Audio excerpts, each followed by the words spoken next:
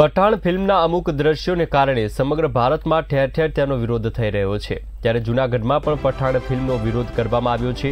આ મામલે મહંત ઇન્દ્ર ભારતી બાપુ, જાણીતા લોક સાહિત્યકાર રાજભા ગઢવી, વિશ્વ હિન્દુ પરિષદ અને બજરંગ દળના કાર્યકર્તાઓએ સામૂહિક રીતે જિલ્લા કલેક્ટરને આવેદનપત્ર પાઠવ્યું છે.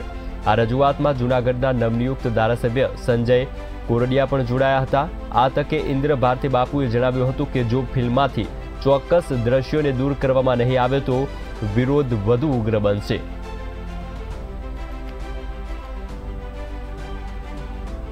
સમગ્ર હિન્દુસ્તાનની અંદર આજે એક પઠાણ નામનું ફિલ્મ, જેની અંદર એક આસ્થાનું અમારું કેન્દ્ર છે એ ભગવો કલર.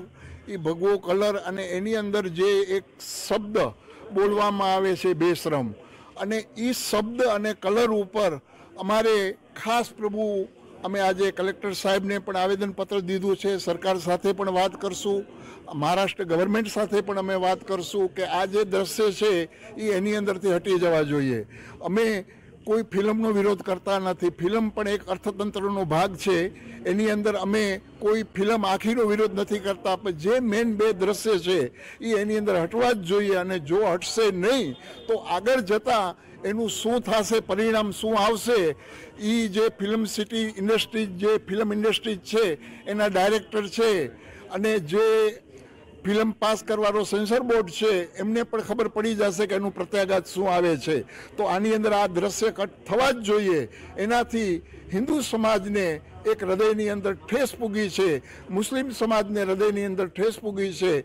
તો આજે હું ખાસ ડાયરેક્ટર અને ગવર્મેન્ટને અને ફિલ્મ સિટીના પ્રોડ્યુસર ડાયરેક્ટર જે હોય, એને બધાને હું પ્રાર્થના કરું છું કે આ બે શબ્દ અને આ કલર આમાંથી નીકળવો જોઈએ અને જો નહીં નીકળે, તો આવા જે આસ્થાનું કેન્દ્ર ભવનાથ નો મેળો છે. જેની અંદર પચીસ લાખ માણસો અહીંયા ભેગા થાય છે.